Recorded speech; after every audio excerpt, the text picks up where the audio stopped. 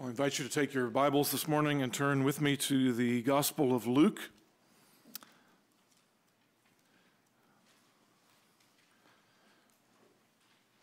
We have been ending our summer with a, a, short series on prayer.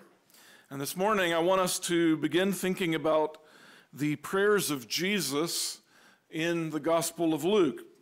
Uh, because Luke makes a special emphasis on prayer. And we see this not only because he, he mentions prayer more than any other gospel, but he specifically mentions Jesus praying in several places where the other gospels don't mention Jesus praying. Luke is concerned to point out that especially powerful moments of Jesus' ministry happened in the context of prayer that prayer paved the way, the way for God to work and for Jesus' ministry to be carried forward. So in chapter 3, verse 21, if you'll if you'll turn there, in chapter 3, verse 21, Luke tells us now, when all the people were baptized, and when Jesus also had been baptized and was praying, the heavens were opened, and the Holy Spirit descended on him in a bodily form like a dove, and a voice came from heaven You are my beloved Son, with you I am well pleased. And, and Luke wants to point out what maybe the other gospel writers assumed but didn't mention in their gospels that Jesus was praying at his baptism, and it was through prayer that the heavens were opened and the Spirit came upon him, and the Father recognizes him publicly as his beloved Son and strengthens him with love. And so you could say the beginning of Jesus' ministry and his anointing with the Spirit for ministry began with personal prayer. In chapter 5, verse 16, if you look down a few pages ahead, as Jesus' ministry begins to grow and become successful with the crowds, and crowds began to gather, begin to gather and to hear him, Luke wants to point out, verse 16 of chapter 5, Jesus would withdraw to desolate places and pray. Uh, the verb there is actually in the, in the present tense, meaning this was a continual practice of his. Jesus would be withdrawing to desolate places to pray, to get away from the crowds, to seek out time for prayer.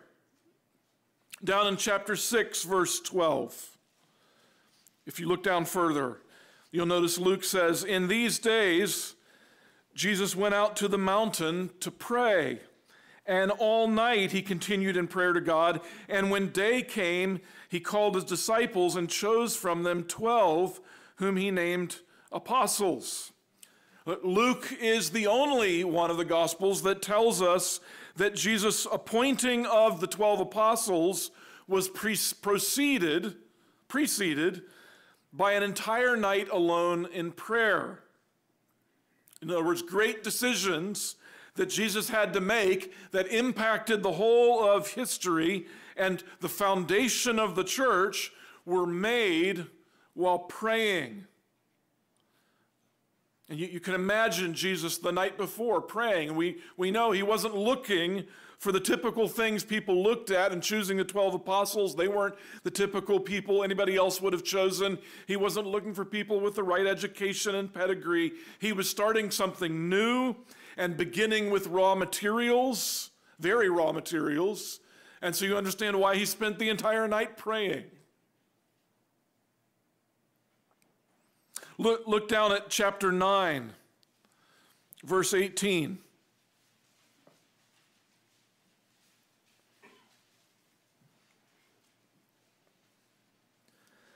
It says, Now it happened that as he was praying alone, the disciples were with him, and he asked them, Who do the crowds say that I am? And they answered, John the Baptist, but others say Elijah, and others that one of the prophets of old has risen. Then he said to them, But who do you say that I am? And Peter answered, the Christ of God. It's Luke alone who tells us that this decisive moment when Peter and the disciples finally confess with conviction that Jesus is the Christ, the Messiah, that this happened in the context of prayer. It was pre- preceded by Jesus praying. Jesus' prayers set the stage for his question to the disciples and their confession of him as the Christ. Look down a little further, chapter 9, verse 28. It says, Now, about eight days after these things, he took with him Peter and John and James and went up on the mountain to pray. Luke, Luke alone specifically tells us, gives us the purpose of Jesus and James and John and Peter going up on the mountain. It was to pray.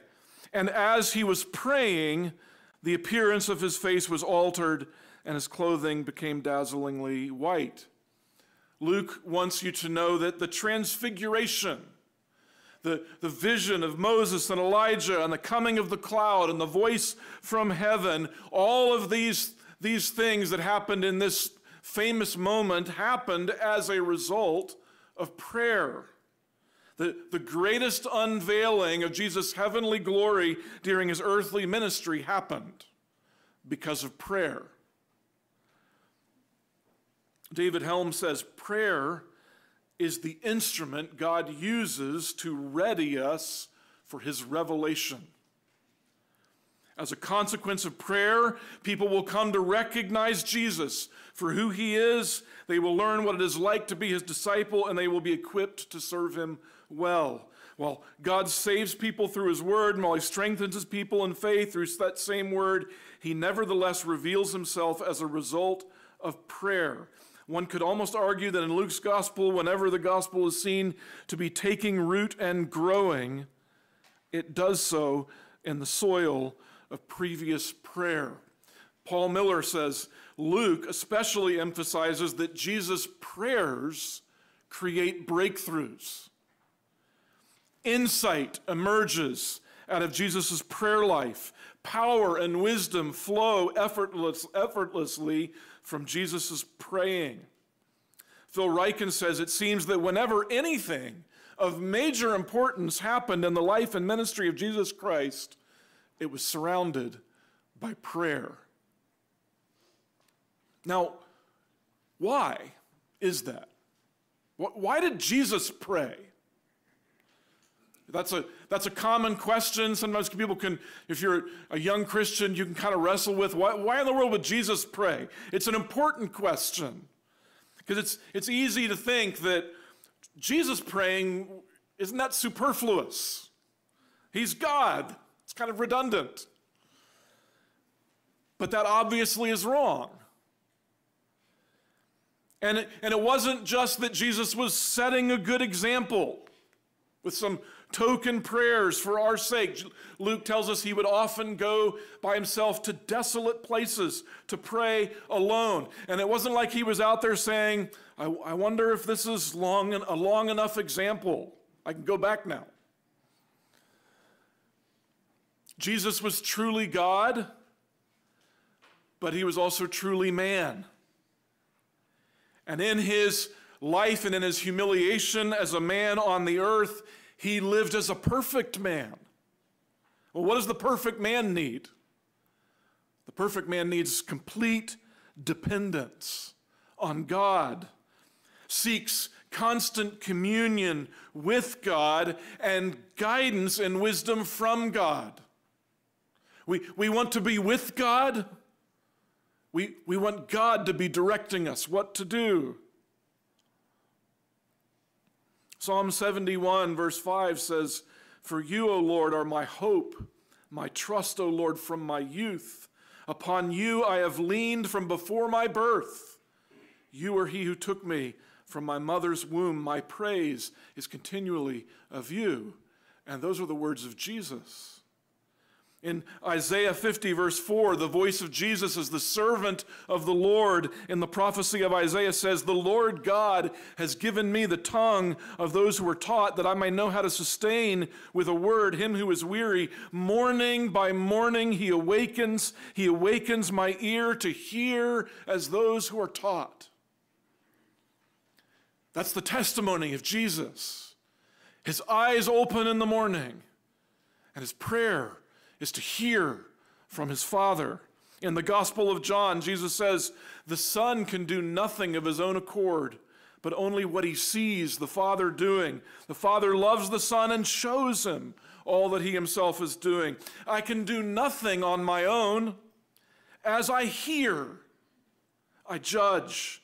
And my judgment is just because I seek not my own will, but the will of him who sent me. I do nothing on my own authority, but speak just as the Father taught me. And he who sent me is with me. He has not left me alone. And, and those words from John's gospel, you could say, are Jesus' own testimony to his prayer life.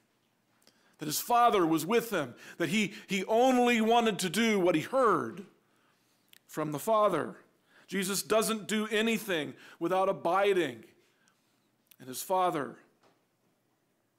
And, and that is an example he gives us, isn't it? He, he tells us, I am the vine, you are the branches. Whoever abides in me and I in him, he it is that bears much fruit, for apart from me you can do nothing. And so we need to be abiding the way Jesus was abiding. Now, I want us to look at one more example from Luke's gospel, and it's going to really be the, the, the, the, rest of our focus this morning. Look, look down at chapter 11. Luke 11. And in Luke 11, we have Luke's version of the Lord's Prayer. And, and you'll notice, we're going to read through this in a second, you'll notice this is given in a different context than in Matthew's version of the Lord's Prayer, which, which Jesus gave earlier in his ministry and was part of the Sermon on the Mount. Um, and so we, we see that Luke gives this here in a different place. And, and so we know that Jesus gave a number of his teachings probably on different occasions. And, and not every disciple heard him at all the same times. And there's a disciple here who asks him to teach him to pray, and Jesus teaches again the Lord's Prayer. Um, it, it's interesting to me that Luke gives this story right after the story of Mary and Martha, where Martha was troubling herself with all, all kinds of things while Jesus was teaching, and Jesus had to say to her, Martha, Martha, you are anxious and troubled about many things but one thing is necessary. Mary has chosen the good portion, which will not be taken away from her. Um, you know, it's uh, Tom mentioned er- earlier uh, when we have a fellowship meal afterwards. Uh, there's no reason to be in the kitchen preparing food while God is giving us His Word. This is what we need most. And so, right after that story, we're, we're told this. Chapter 11, verse 1. Now, Jesus was praying in a certain place. And when he finished, one of his disciples said to him, Lord, teach us to pray, as John taught his disciples. And he said to them, When you pray, say, Father, hallowed be your name your kingdom come. Give us each day our daily bread, and forgive us our sins, for we ourselves forgive everyone who is indebted to us. And lead us not into temptation. And since that's going to be our, our focus, let's actually pause now and, and pray in response to God's word.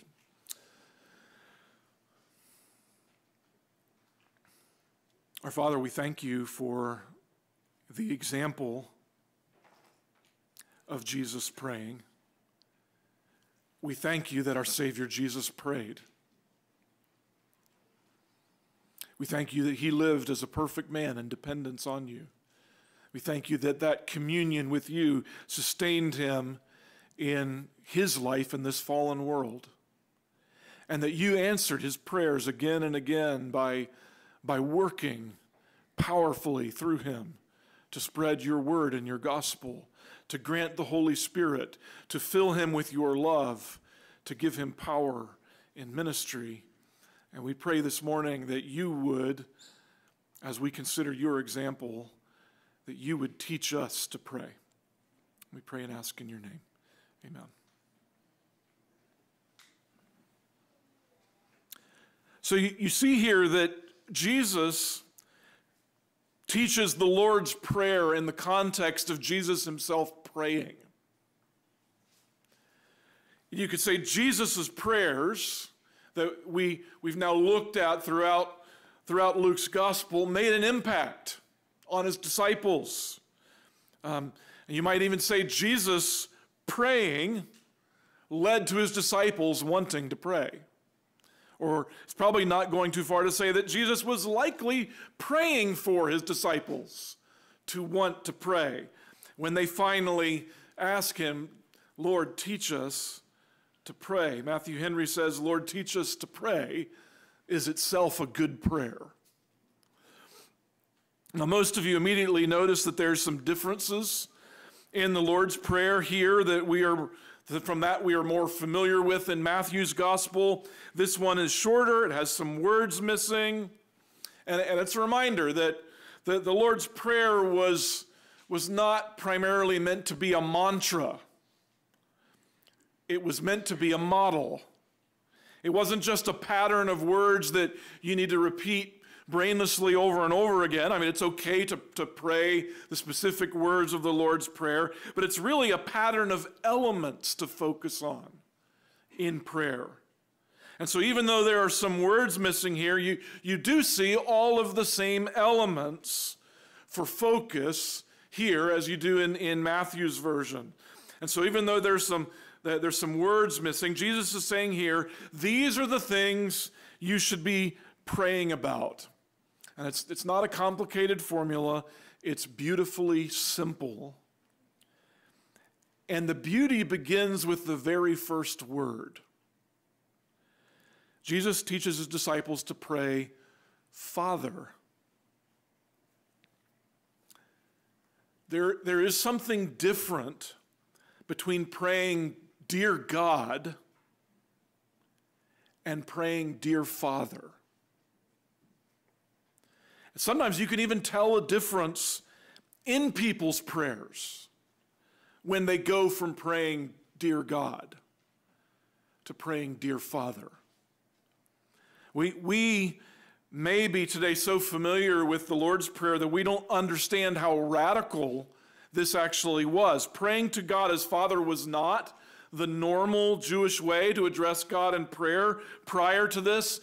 God, God is certainly recognized in the Old Testament as a father, but, but even outside the Bible, scholars have found a, a difference beginning really with the New Testament in people praying to God as Father. Uh, we, we know that the Bible teaches that Jesus is the eternal Son of God, the only begotten Son of God. And so Jesus naturally prays to God with an intimacy that is unusual.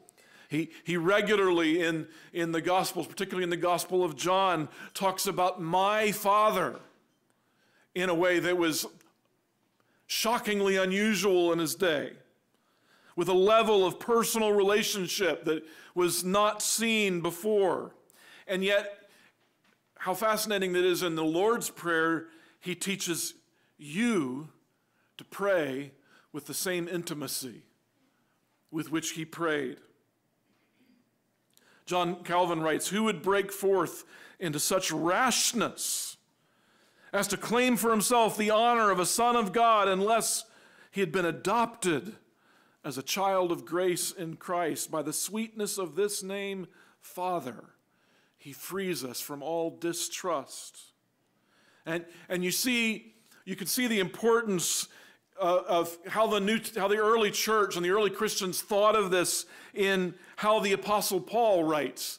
in both Romans 8 and in Galatians 4 that, that God has given us the spirit of adoption as sons by whom we cry, what? Abba, Father. Galatians 4 6 says, Because you are sons, God has sent the Spirit of His Son into our hearts, crying, Abba, Father. Now, that word Abba was the Aramaic word for father that would have been used in first century Jerusalem for people speaking in the family of their father. What, why does Paul throw an Aramaic word into the letters that he's writing to people in Greek speaking areas? And, and the answer has to be because it's the word that Jesus himself would have used in prayer to his Father that he teaches his disciples to pray for themselves as adopted sons with the Spirit of Christ in our hearts. One, one writer says prayer is the expression of a relationship. And so it is a relationship that Jesus grants. Because no one knows who the Father is except the Son, and the one whom the Son chooses to reveal him. So this prayer is really not for the, for the public, it's not for everybody, it's for disciples. Those whom Jesus has made the Father known, to whom Jesus has made the Father known, or granted the privilege of calling on God as Father. And that raises the question Do you know God as Father through Jesus Christ? Do, do you call upon him as Father, as, as Peter says in 1 Peter 1 17? Is that real in your life and your experience because of your faith in Jesus Christ that has given you, an alien and a foreigner, adoption into the family of God so that you can call God intimately, boldly, personally, Father? William Barclay tells the story of a, of a Roman emperor coming back to Rome in triumph he was marching his troops through the streets along with a number of prisoners. The streets were lined with cheering people and legionnaires stationed at the street's edge to keep people in place. And at one spot along the route was a, was a platform where the empress and her family were sitting to watch the emperor go by. And on that platform with his mother was a young child, the emperor's youngest son. And as the emperor's chariot came near, the, the little fellow jumped off the platform, wriggled through the crowd, and tried to dart between the legs of a legionnaire and, and run out to greet his father's chariot. And the soldier stooped down and scooped him up and says, You can't do that, boy. He says, Don't you know who is in that chariot? That's the emperor. You can't run out to his chariot. And the lad laughed in his face.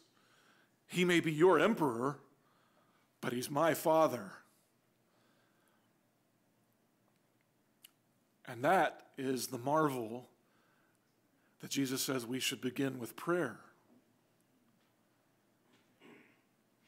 He's the king of the universe. But if you know him, he's your father. Now, we've only gotten through one word. So we need to move a little faster. And so you'll notice that Jesus begins his model for prayer here with, with two petitions directed towards God. He, he doesn't teach us to begin with your own personal needs and desires, but to begin with the honor and purpose and kingdom of God. Your first need in prayer is a sense of communion with God Himself, for you to be raised higher than your earthly perspectives and needs, and to be subdued in your life by His greater purposes. Do you see that? And so he begins, Father, hallowed be your name. And he's not just declaring that God's name is, is holy, he's praying that God's name would be hallowed. In the Bible, God's name is all of who He is. His, his name is the revelation of His character that is worthy of honor and praise. And so the first petition of the Lord's Prayer is that the worthiness of God's name would be recognized and honored in your life and in the lives of everyone around you, that He would be given the honor that He is due. In Ezekiel 36 23, God says, I will vindicate the holiness of my great name, which has been profaned among the nations and which you have profaned among them.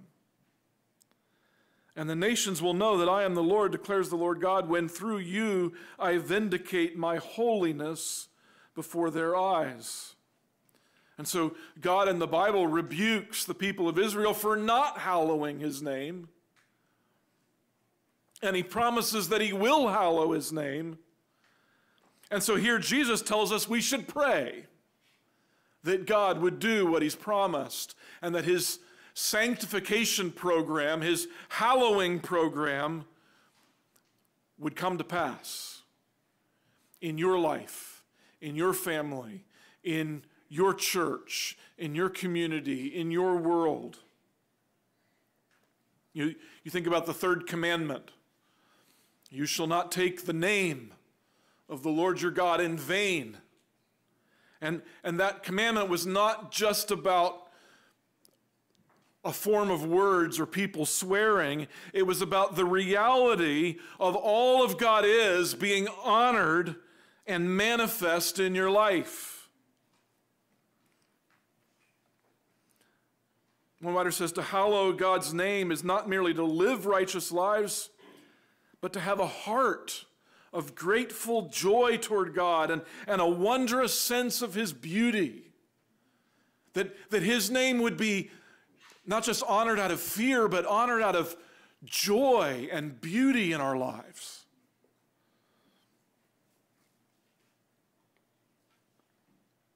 And then, after praying that God's name would be hallowed, praying for God's reputation, we then pray for his rule. Jesus says we should pray, Your kingdom come. And it's certainly part of his rule being manifest that his will would be done on earth as it is in heaven. Those, those words Jesus doesn't include here, but it's per, certainly part of praying for his kingdom to come, that his will would be done. We, we want to see all things done according to his counsel and direction, that the things that are wrong in our lives, and wrong in the lives of everyone around us would be set right. That the rebellion that is happening in the world around us, even in our hearts and the hearts of everyone around us, would be set right. That justice would be restored. We, we know that God's kingdom has already come in Jesus Christ. He has ascended to the right hand of the Father. He's been given the name that is above every name. But we still are praying for the full consummation of that, for that reality that is in heaven to be fully brought on the earth, and we want to see it come quickly. And so we are to pray for change. And it's our cynicism that we don't pray for this. It's our cynicism that we just get depressed by the news rather than motivated to pray with confidence. We don't pray for change in ourselves. We don't pray for change in others. We don't pray for change in the world like we should. And Jesus says that's the first thing you should pray. In the Sermon on the Mount, he said, Seek first the kingdom of God and his righteousness, and then all the rest will be added to you. But seek first the kingdom of God and his righteousness. John Stott says, We are constantly under pressure to conform to the self centeredness of our culture we become, become concerned about our little name, about our silly little will. But in the Christian counterculture, our top priority concern is not our name, our kingdom, our will, but God's. And so in our, in our prayers, we, we need to begin with adoration. Um, one, one person says, adoration comes before asking. And by asking, he means all of our, our littler concerns. Part of the purpose of prayer is to get us out of our limited perspective and to get us into God's story and perspective before we get into all of our concerns, to raise our eyes higher, to enter His throne room, to have communion with Him, and to see His purposes.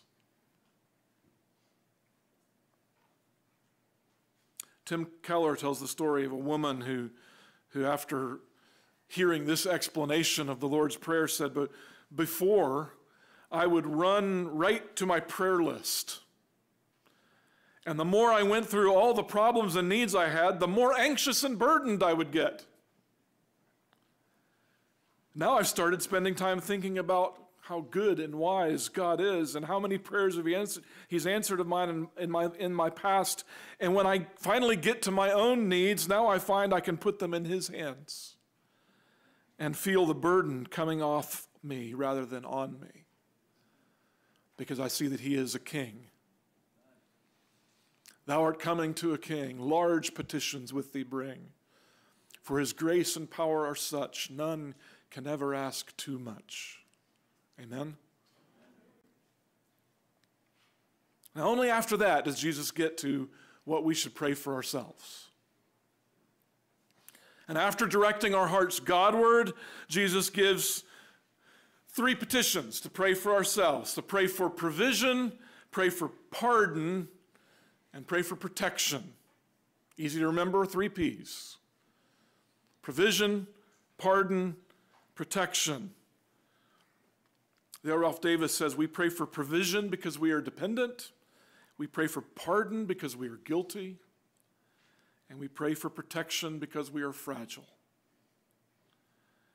And I think those are pretty self explanatory, but let's, let's just think through them quickly. First, we pray for your, our daily bread. And the word there, verse 3, is, is a, a present tense verb, meaning it's an ongoing thing. Be giving us daily our bread for the day. And you can't help but think of the picture of Israel in the Old Testament in the wilderness wandering in the desert, where they were dependent on God for manna each day. You remember that, that great story and, and word picture where the people were given only enough for each day. And so this is, is a picture of how we should be every day. Daily dependent on God for all of our needs, for contentment and trust and, and freedom from anxiety to know that He's going to provide. It, it's, a, it's a prayer for necessities, not for luxuries. I hope you can see that, right? And, and it is a practical prayer, but it is a prayer for more than just physical bread. It is certainly a prayer for physical bread, but our, our physical needs, our needs are more than just bread. It, it's even spiritual bread that we need every day, isn't it? Deuteronomy 8, God told the people in the wilderness, You shall remember the whole way the Lord your God has led you these 40 years in the wilderness, that he might humble you, testing you to know what was in your heart, whether you were going to keep his commandments or not. And he humbled you and led you and let you hunger and fed you with manna, which you did not know, nor your fathers know, that he might make you know that man does not live by bread alone, but man lives by every word that comes from the mouth of God. And so we pray for our, our daily provision for all of our needs from God. And next, we pray for spiritual forgiveness. We confess our weakness and sins and failures. Another writer says, This is how we must always come to God, not confident of our own righteousness, but pleading his mercy and grace. The Lord's Prayer is a sinner's prayer in which we acknowledge that we are unworthy sinners before God, and we need to acknowledge this every day. Just as we ask for daily provision, we ask, we need to ask for daily pardon. Not, not because we're not forgiven in Jesus Christ, but we need that daily sense of our ongoing need for, for forgiveness to be a reality. And so, and so we're asking for the mercy of God in Jesus Christ that He's already paid and purchased for us to be applied to our hearts every day, freeing us from fear and bondage. And, and when he goes on and says, For we ourselves forgive everyone who is indebted to us, that doesn't mean that, that our forgiving of others earns God's forgiveness. That goes against everything else we, we see in the Bible. It's rather that God only forgives the penitent, the humble, and one of the chief evidences of humility is a forgiving spirit. John Stott says, Once our eyes have been opened to see the enormity of our offense against God the injuries which others have done to us appear by comparison trifling. If, on the other hand, we have an exaggerated view of the offenses of others, it proves that we've minimized our own sins. But when we realize the forgiveness of God, we are freed to forgive others. Our being forgiven and forgiving others always goes hand in hand because you're always going to be a sinner and sinned against. Every day, you're experiencing your own sin and other people's sin. And when you have a sense of God's forgiveness in your own life, what should flow out of you then is a peacemaking spirit and desire toward everyone around you because you are called to love, because you love God, because He has loved you, you're called to love your neighbors. You're called to show His mercy and grace that He's shown to you. And then finally, Jesus tells us we need to pray for protection. And I hope you see your need for protection. As we, as we saw last week, we need to be able to stand against the schemes of the devil, to take up the armor of God. And as Paul says in Ephesians 6, you take up the armor of God by praying. It's praying that when temptation comes, God would not leave you, but help you to escape, to stand in the trial. The Lord's Prayer is a sinner's prayer. It's a prayer for grace, trusting the God of all grace. One old hymn writer says, Too vile to venture near thy throne, too poor to turn away. Depending on thy help alone, Lord, teach us how to pray. Too vile to venture near thy throne, too poor to turn away. Depending on thy help alone, Lord, teach us how to pray. One, one more thing I want to point out here that's, that's again hidden in our English. We, I want you to notice all of the plurals. And it actually begins at the beginning. Jesus says, When y'all pray, say together, Father, Hallowed be your name, your kingdom come. Give us each day our daily bread and forgive us our sins, for we ourselves forgive everyone who is indebted to us, and lead us not into temptation. Paul Miller says Jesus is showing his disciples how to pray together. We assume the disciples meant teach us to pray individually, but clearly Jesus was responding to the missing request teach us to pray together. What we call the Lord's Prayer is our prayer for praying together.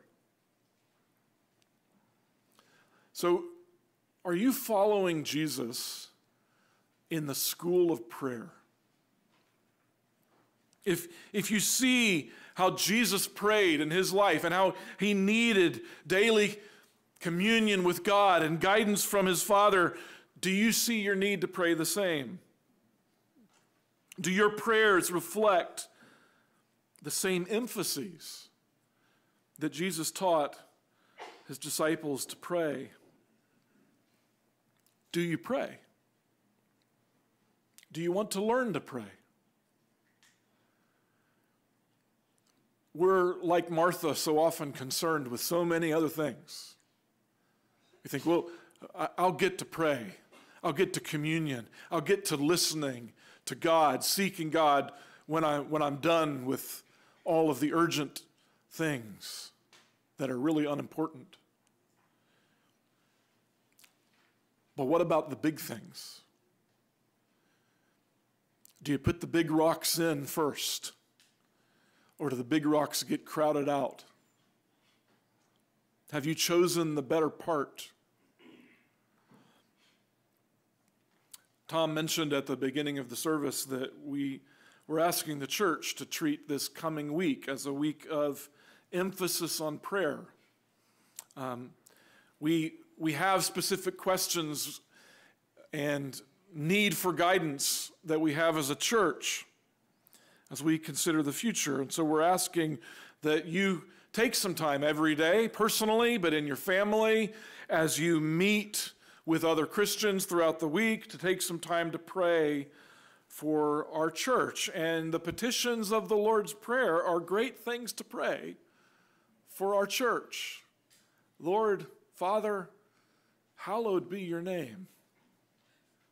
Your kingdom come. Your, your kingdom come in our church. Your name be hallowed in our church. Your kingdom come in our community. Show us what you are doing that we want to be part of, that we need to be part of in prayer. Give us our daily bread. Give us what we need. And, and we come to you acknowledging we need your forgiveness. We are not what we should be. We've never been what we should be. We, we need you to help us, and we need you to protect us.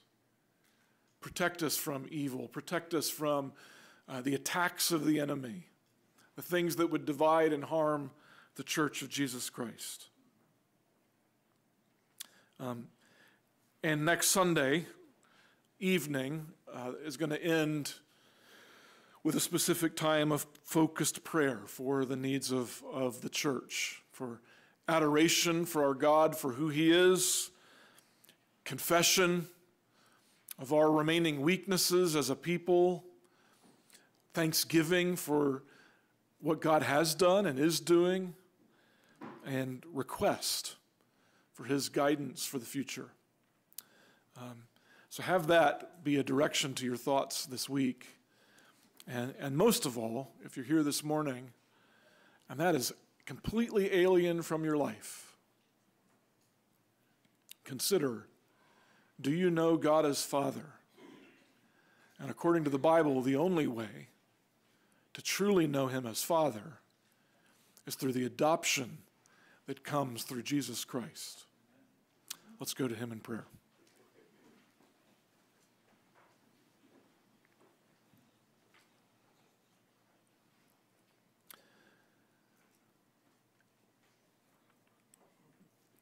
Our Father, we thank you for our Savior Jesus, that he lived the perfect life, that he lived perfect communion with you, dependence on you every day, and even going to the cross when he was bearing our abandonment and our justice, was still praying on the cross, Father, into your hands I commit my spirit. And if he lived that for us, Father, teach us to pray and to live like he did. And we ask in your name. Amen. Amen. Let's close with a word of prayer while the music plays, and then we'll have a benediction.